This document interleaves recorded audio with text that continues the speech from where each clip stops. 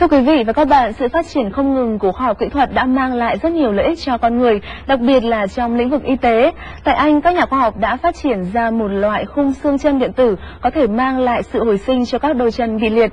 Đây được coi là điểm sáng trong triển lãm công nghệ quốc tế vừa diễn ra tại London, Vương quốc Anh. Cô Amanda Boxtel bị liệt chân sau một tai nạn trượt tuyết năm cô 24 tuổi. Song nhờ bộ khung xương chân điện tử có tên ESCO này, với sự trợ giúp của thiết bị điện tử thông minh nhân tạo, cô Amanda giờ đã có thể đi lại được. Thiết bị này được chạy bằng pin và hoạt động dựa trên cử chỉ, hành vi của người sử dụng nó.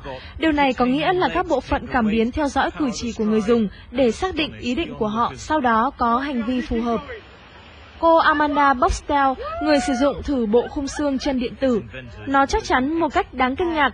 Tôi có cảm giác như mình có bắp chân nhân tạo, gân và dây chằng nhân tạo vậy.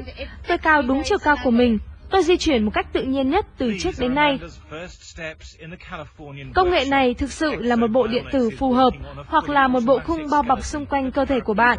Nó có các cảm biến và các động cơ giúp bắt chước các hoạt động của bạn và lái bạn đi một cách hết sức tự nhiên.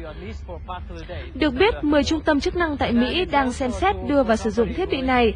Thiết bị ESCO được kỳ vọng sẽ được đưa vào sử dụng tại nhà sớm nhất vào năm 2013. Giá bán của thiết bị này khoảng 160.000 USD.